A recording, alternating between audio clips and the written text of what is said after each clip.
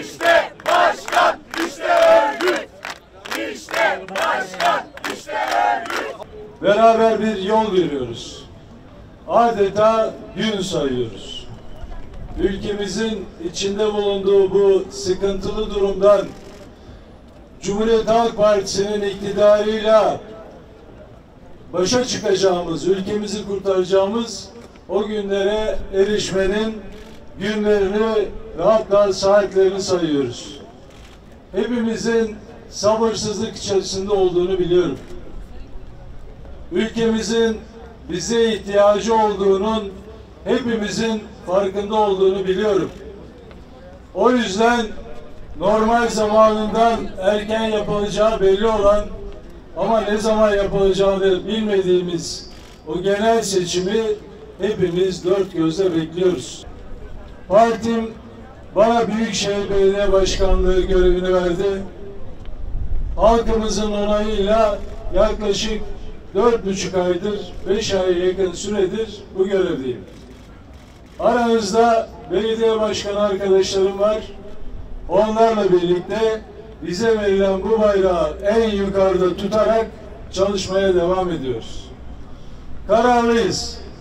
Başaracağız.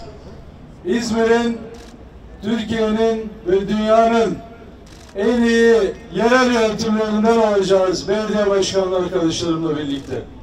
Çok zorlu konularla mücadele ettiğimizi biliyorsunuz. Çok ağır sorunlarla zaman zaman önümüze engeller konarak mücadele ettiğimizi çok iyi biliyorsunuz. Hepimizin şu anda en fazla ihtiyacı olan şey birlik ve beraberlik. Cumhuriyet Halk Partisi'nin ihtiyacı olan şey birlik ve beraberlik. O nedenle her ortamda bunu konuşuyoruz. 102 yıl önce kazanılan zafer ve o zaferin öncesinde ve sonrasında yaşananları hepimiz kendi aile geçmişimiz gibi biliyoruz. Çok şanlı bir mücadele verildiğini, Gazi Mustafa Kemal Atatürk'ün at üzerindeki o kararlı duruşunu, onunla birlikte bir halkın ve bir ordunun şahlanışını burada bu heykelde canlandırmış olan heykeltıraşa çok teşekkür ederim. Gerçekten bakınca insan hissediyor o günlerdeki o mücadelenin ne kadar coşkun olduğunu ve nasıl birlik beraberlik içerisinde yürütüldüğünü. Şunu hepimiz biliyoruz. Tarihin en büyük zaferlerinden biridir 30 Ağustos. Ve bu zaferin gururunu üzerinden 102 yıl geçmiş olsa da sonrasından kurulmuş, sonrasında kurulmuş Cumhuriyet'le ve Cumhuriyet'in değerleriyle birlikte en çok işte bu meydandaki arkadaşlarımız sahipleniyorlar. Doğru mu?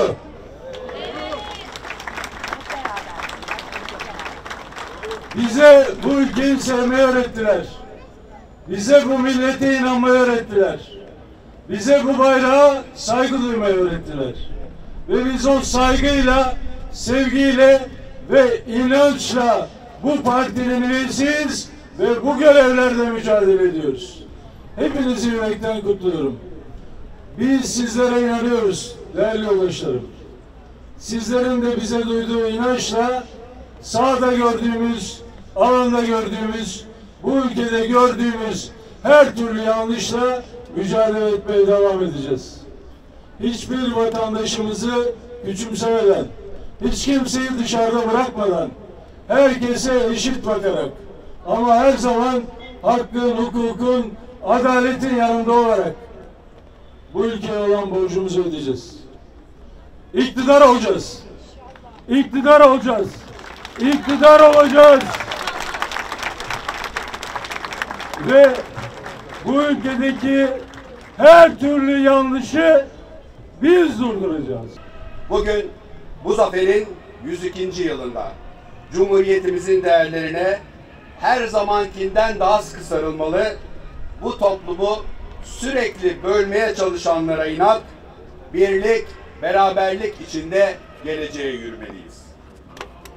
Atamızın bizlere emanet ettiği maalesef bugün ekonomik kriz altında ezilen, dış dünyada itibarı zayıflamış, komşularıyla sorunlar yaşayan bu vatanı daha güçlü, daha demokratik ve daha müreffeh, dünya ile rekabet edebilen, dünyada itibarı yüksek, komşuları ile barış içinde bir Türkiye olarak gelecek nesillere bırakmak bizlerin en büyük sorumluluğudur.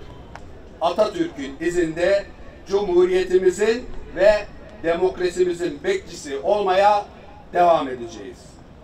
Bizler yani bu ülkenin Cumhuriyet sevdalıları buradayız, dimdik ayaktayız.